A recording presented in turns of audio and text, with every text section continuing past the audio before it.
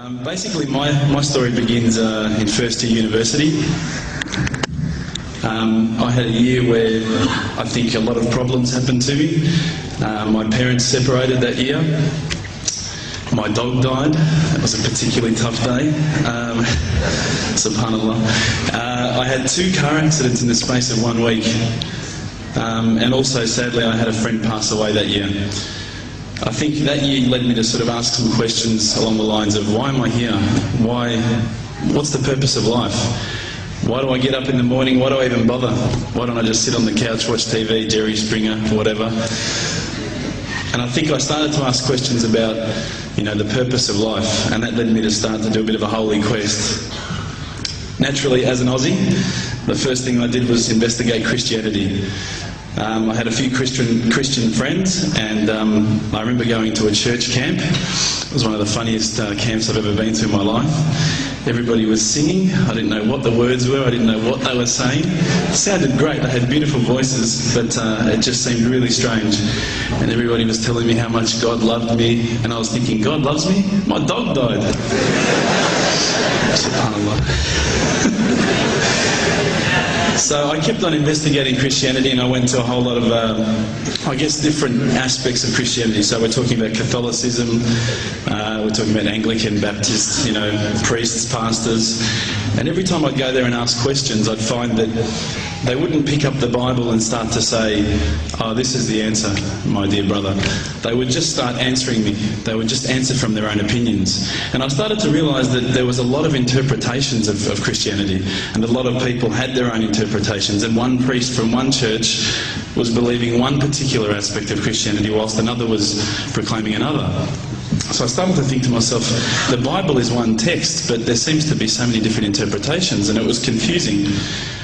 Um, at the time, while I was in first year university, I was also working in a service station, one of my part-time jobs. And uh, one of the uh, one of my colleagues was a Hindu, was an Indian Hindu, and uh, we'd regularly change shift. And uh, at that time, I was very inquisitive, and I'd say to him, dude, what's the deal with the elephant head guy? You know, what, what's the deal with that? You know, why has that guy got an elephant head? And he's going, oh, that's Ganesha. You know, this. I said, but couldn't you have chosen like a lion's head or some, something a bit better? We'd have, you know, these real, really deep theological debates while people were buying petrol. And I'd be saying, yeah, but why bring five bucks of gas? Thanks, mate. Yeah, no problems. And uh, again, I, I found that that was very hard to stomach. So. I sort of investigated a little bit further. I went into, I had a, a good friend of mine was a Mormon, um, and I found this religion actually appealed to me the most out of all of the Christian religions, the, the, the Church of Latter day Saints. They were quite strict, um, they don't drink uh, alcohol, um, they, they don't drink caffeine, so unfortunately, Coke's out, guys, because I know Lebos love Coke. Um, but uh, again, you know, there was that leap of faith I felt that I had to make to, to embrace this religion. And I found that, you know, I wasn't just into making a leap of faith, I wanted proof. I also investigated Judaism, would you believe? Um, and my original name before Abu Bakr is Reuben. So if you've probably seen all the movies, you've seen Reubenstein. At the end, they probably thought I was Jewish, so they thought, oh, this guy's, you know, one of us. But again, you know, I, I just didn't find what I, what I was looking for.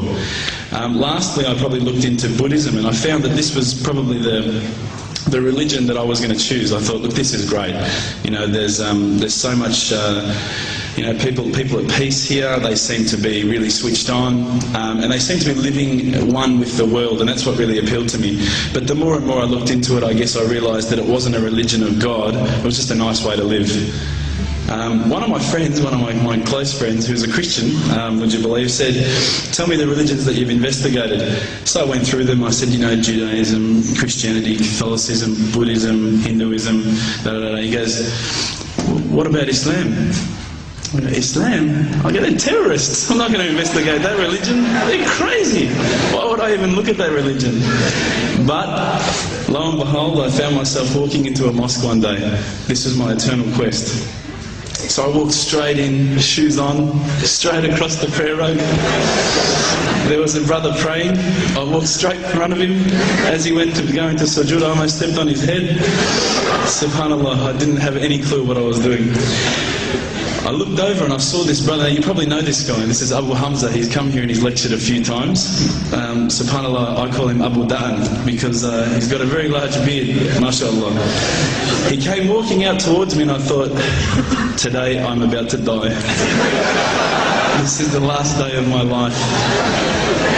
I'm a dead man. I'm a white boy in Lebland. What am I going to do here? I'm dead.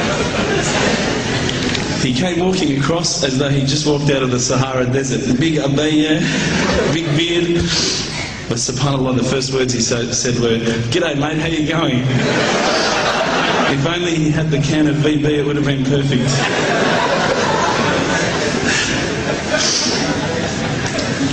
SubhanAllah, I was very taken aback by his, uh, by his welcoming nature. Um, as Aussies, I guess now, I don't want to offend any Australians here, but my, my upbringing is from a, a country upbringing. Um, my parents raised me as an atheist. They were raised as Christians. They were dragged along to church every Sunday, and they hated every minute of it. So as soon as we were born, they drummed it into our heads that when you die, you're worm food. That's it. There's no afterlife. There's no God. It's all rubbish. So I was raised as, a, as an atheist. So when I walked across and, uh, and, and I, I, saw Abu Hamza and he was talking to me um, in a very polite fashion, which I was very thankful for because I was sure I'd seen him on the 5 o'clock news hijacking a plane the day before. Now, Aussies are hospitable, don't get me wrong, but Lebos are the most hospitable people I've ever come across. And as the brother Hamza was saying, these brothers are making me cups of tea, you know, and I honestly needed to keep going to the toilet every five minutes. They just kept putting tea in front of me, biscuits. I'd never seen anything like it. And I think to some degree I kept coming back for the biscuits, but also for the religion. So when I sat down with these brothers, I actually started asking questions. I asked all the questions that I've asked of, uh, of the, the priests, of the pastors, of, um, of my friends. And subhanAllah, the, the thing that really struck me is that every time I asked the question, they wouldn't just answer. They would pick up a Quran and they would say, read this bro, read this. And there was the answer, every single time. And I would ask another question, you know, you know, the hard questions, not the easy questions. Why do women have to wear the scarf? Why, why the, the hijab? How come I can have four wives and she can't have four husbands? You know, I wanted to know all the tough questions, which is the first questions I guess you ask when, uh, when you come across Islam. But lo and behold, they kept on answering the questions with the Quran, not from their own opinion. And I got frustrated with this. And I actually said to one of the brothers, because by this stage I'd, I think I'd been going there for about a couple of weeks, there was always a few brothers there when I went. And I said to one of the brothers, I said, you know, what's your opinion on the matter? Why won't you give me your opinion? And one of the brothers turned to me one day and said, how can I have an opinion when this is the word of God?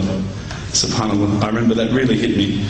So I asked them if I could take a Quran home. And I didn't say I was going to use it to chalk up the couch or anything like that. I said I was going to respect the book. So they, I took it home. I started reading it. Um, what I found was, while reading it, it wasn't as though I was reading a story. It was as though I was reading someone commanding me, you know, someone giving me guidance. And uh, one night I decided to really try and get the spiritual mood happening, and I'm sure probably some of you have heard this story before, so I apologise. Um, I lit a candle had the window open, had the curtains drawn, you know, I was trying to get that really spiritual feeling. It was a nice summer night in Melbourne, as summer as it can get in Melbourne. And uh, I was sitting there thinking, this is it, you know, this is the night.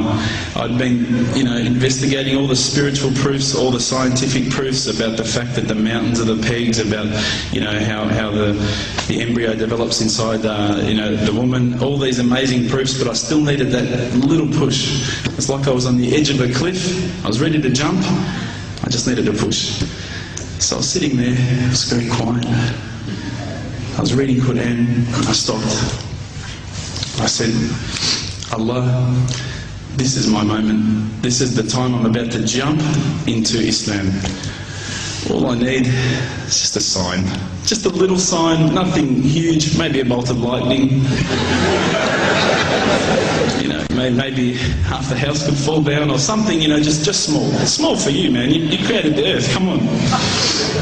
So I sat there I was waiting for the candle to start lighting up to four metres high like in the movies. And I go, okay, go. And subhanAllah, nothing, absolutely nothing happened. I was really disappointed, to be honest.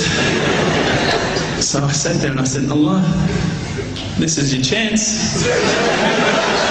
I'm here. I'm not going nowhere. I'll give you another chance. Okay, maybe you're busy. You know, I know it's daytime over the other side of the world. There's a whole lot of stuff going on. Maybe this time it could just be like a car backfiring. You know, something small. All right, the half the house, the candle. Let's forget that. A bird could fart outside. I don't care. Just anything. So I said, okay, go. SubhanAllah, absolutely nothing happened. And I mean, I couldn't have even said, oh, that was it. That, that creep just then in the wall, that was it. Absolutely nothing happened. I was really disappointed. I was gutted. I, I was sitting there thinking, this is it, you know, this was my last chance, Islam, and, and I really, I haven't found it. I pulled back the Quran, I, I turned back to where I was reading. SubhanAllah, the very next verse on the next page. For those of you who ask for signs, have we not shown you enough already? Look around you. Look at the stars. Look at the sun. Look at water. These are the signs for the people of knowledge. SubhanAllah.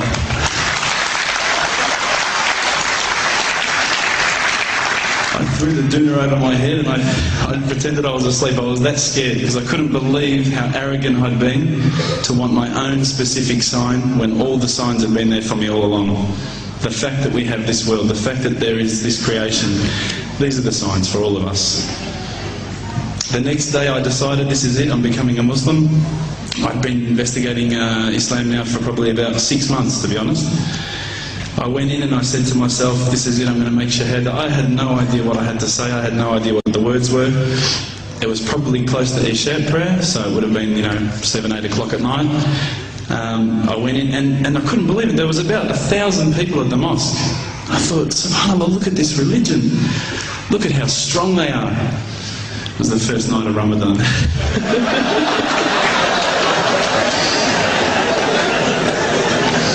Ramadan Muslims. So I sat there and I was very nervous, I must admit. I got up and this person's going to me, you got to say these words, bro. Ashhadu. I'm going, what? Ash what? Can't I just say it in English? No, they say, no, you've got to say it in Arabic. And I thought, looked out over the sea of beards that I could see in front of me and I thought, if I get these words wrong, I'm a dead man. Again, I had this fear, you know. And they were staring at me, and I don't know if you know this, but Australians can't stare. Lebanese people can stare. so I was sitting there, I was very scared. I got up, and subhanAllah, as soon as I started to say the words, all fear went out of my mind. It felt as though a shower was inside my head and someone had just turned on the cold tap. Felt like I'd been flushed clean. I said the words, and I wasn't expecting so many brothers to come up and yell, Takbir, Allahu Akbar, and start kissing me and hugging me. Now, I'd never been kissed by that many men in my life. Was a beautiful day, I must admit. And that day was the day that I had more brothers than I could ever, uh, ever imagine, more sisters as well. But um, I guess since that day I've never looked back. My family, I think, initially were very worried that uh, I was going to be I guess, a little bit weird towards them. That they thought that I was going to break out the AK-47s and the grenades. Uh, but they realised, I think, soon that, that this religion was actually making me a better person. Prior to Islam, you're not going to believe it, I had a mohawk. I did. I had. Uh, I'm not going to show you any photos. Um, I had army greens. I had the Metallica T-shirt. I had the cherry docs. I was shocking, right? I thought I looked great, but I looked terrible. And alhamdulillah, ever since then I look as good as I do now. No, don't laugh, please. But my parents were the first people to actually say to me once, which really um, amazed me. They said, my father actually asked me for the Quran recently, which I was really happy about. Um, I always thought he'd be one of the hardest people to to work on. But uh, he said to me, ever since you've been a Muslim, you've been a better person. You're more reliable. I can count on you to come and pick me up if my car breaks down. Whereas before I go, Dad, I was drinking last night. I don't know if it's still out of my system.